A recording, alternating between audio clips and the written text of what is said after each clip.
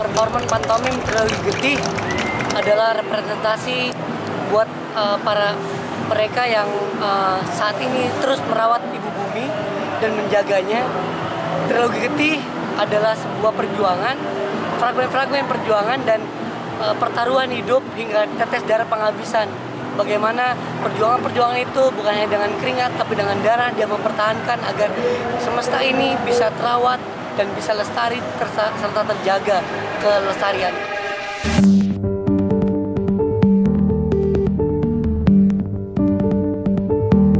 berinteraksi uh, kepada publik, kepada masyarakat dan kami memberikan uh, beberapa pohon yang ada di sekitar uh, area untuk diberikan pada masyarakat sebagai simbol. Mari kita bersama-sama untuk menanam pohon ini dan bisa uh, tumbuh di sekitar kita agar kita terus uh, membudayakan menanam karena buat saya adalah beberapa kawan lain yang menanam adalah bagian dari perlawanan.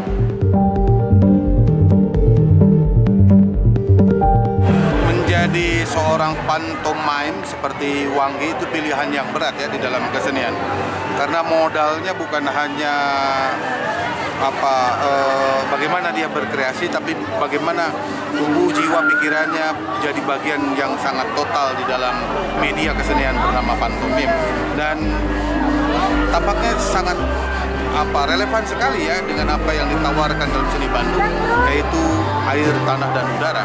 Jadi persoalan lingkungan baginya menjadi bagian dari yang terpenting dalam acara seni Bandung ini.